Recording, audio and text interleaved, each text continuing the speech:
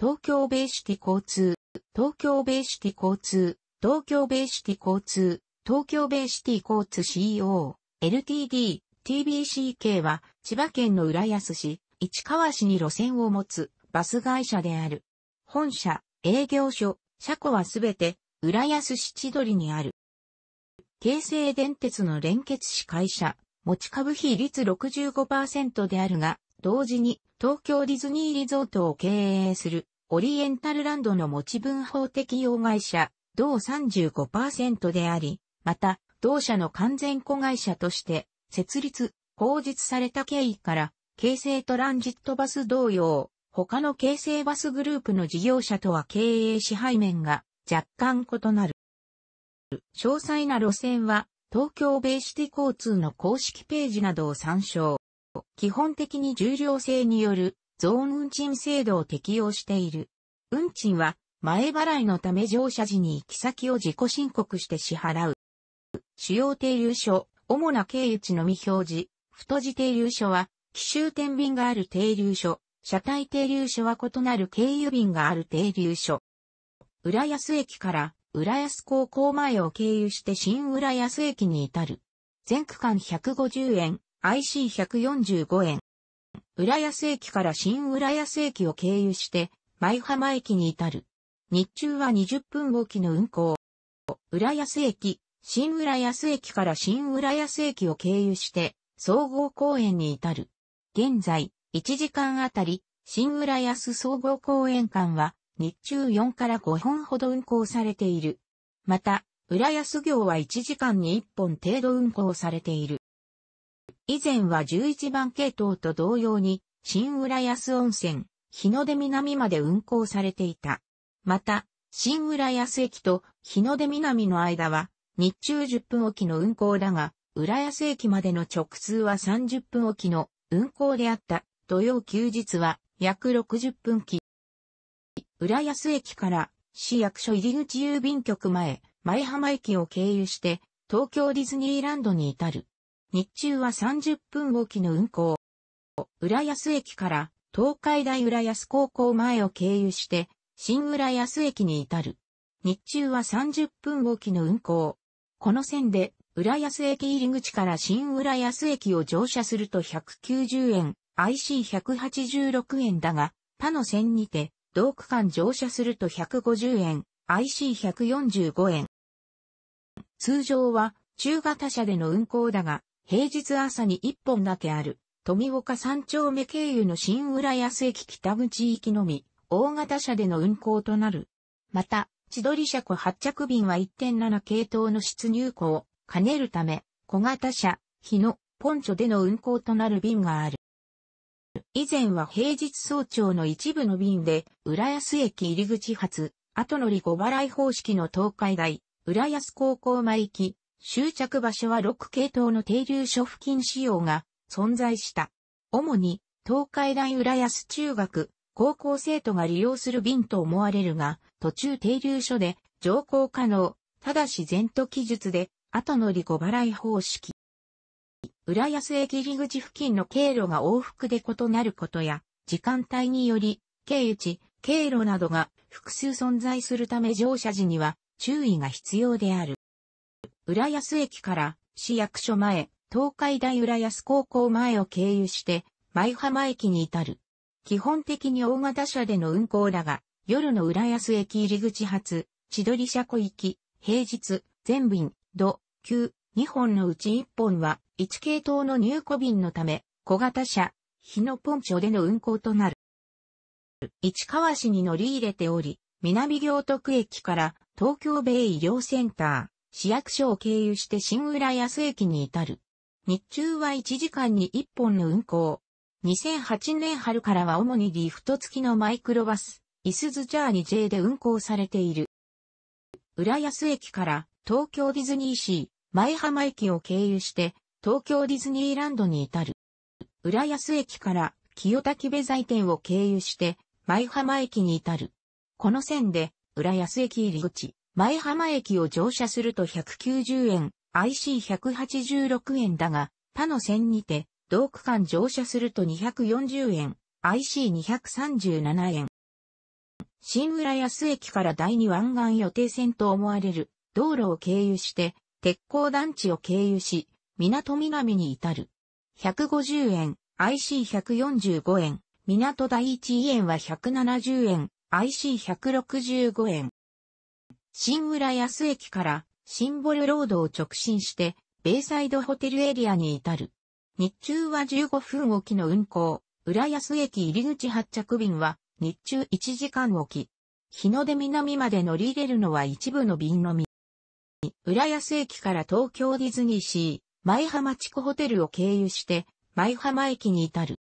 新浦安駅から千鳥車庫を経由して、浦安西条へ至る。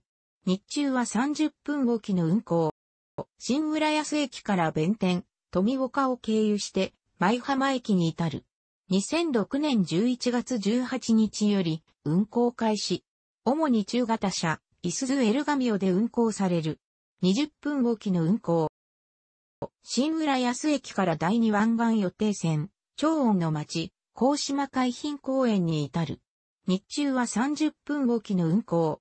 全区間150円、IC145 円。新浦安駅から明海大学前を経由して日光浦安に至る。日中は20分おきの運行。全区間150円、IC145 円。新浦安駅から明海大学前を経由して、日の出東に至る。日中は30分おきの運行。全区間150円、IC145 円、深夜バスを除く。浦安駅から新浦安駅、海風の町、超音の町を経由して、高島海浜公園に至る。日中は1時間おきの運行。朝夕に新浦安駅発着便が存在する。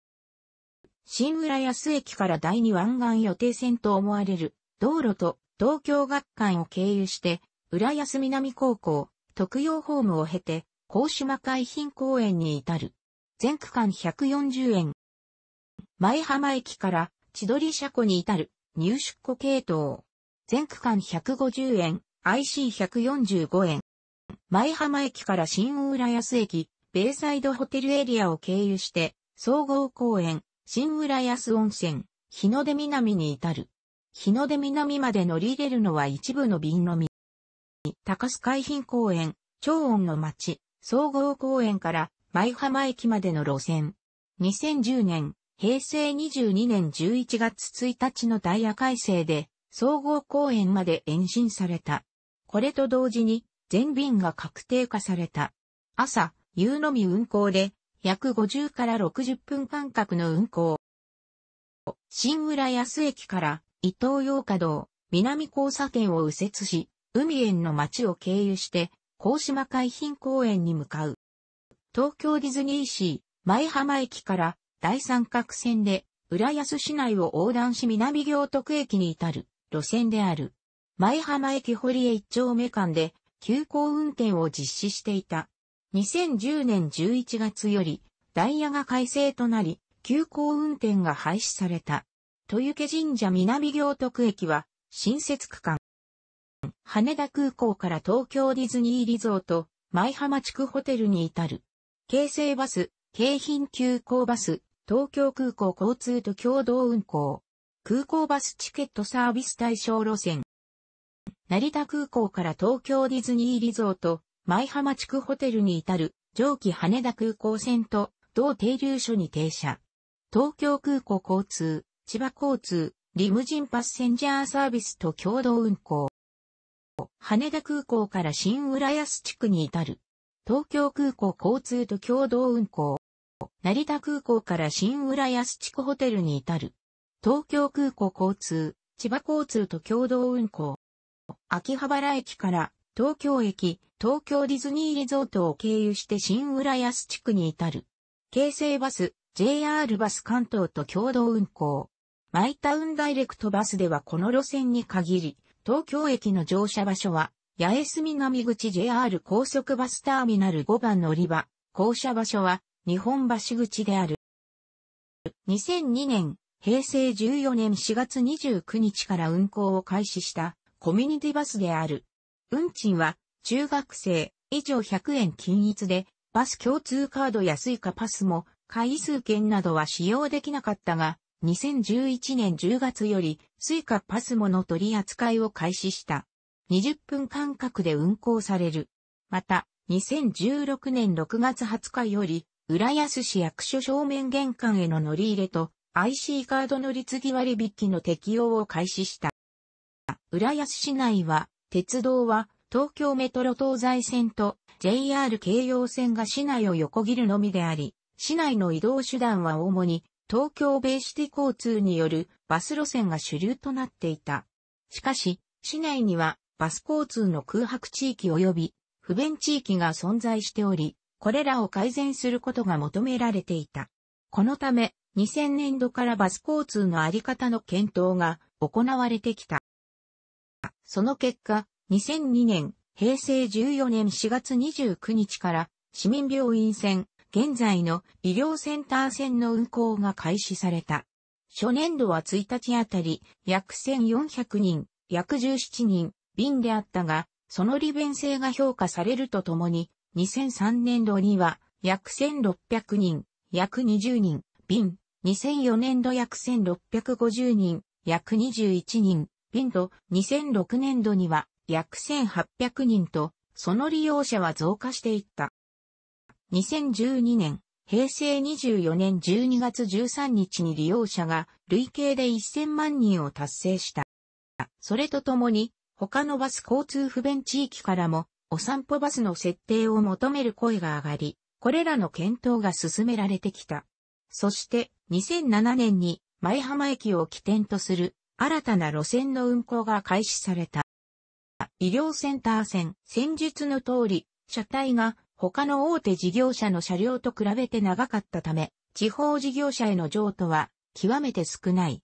ただ大量輸送で、かつ乗降の効率が良い3扉を利点に数社に譲渡された。近年では、ワンステップ車及びノンステップ車が移籍する事例も増加している。これまでに譲渡された事例は以下の通り、楽しくご覧になりましたら、購読と良いです。クリックしてください。